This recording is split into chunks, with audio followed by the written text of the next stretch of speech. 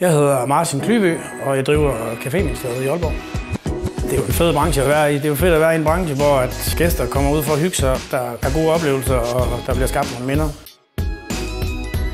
Jeg tror, det der er vigtigt i en god madoplevelse, det er helheden. Det er meget atmosfæren, det er servicen, og det er at give folk et eller andet, som de ikke kan lave derhjemme. Det, der motiverer mig, det er at være i et øh, miljø, hvor der sker noget, hvor vi er med til at give nogle gode oplevelser. Det motiverer mig at arbejde sammen med en masse kollegaer, som knokler, giver den et skalle og har det sjovt.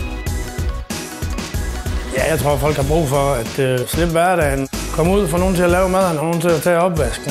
Se nogle nye ting, få noget nyt mad.